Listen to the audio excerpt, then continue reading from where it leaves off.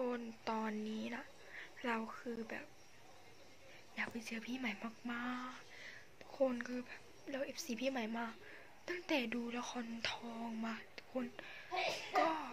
ชอบมาก ตอนนี้แบบอยากไปหาพี่ใหม่มากๆเลยทุกคน คือแบบจะร้องไห้นะอจริงๆนะคะทุกคนร้องไห้มาก แล้วก็มีเรื่องแค่นี้นะคะ สวัสดีค่ะ บ๊ายบาย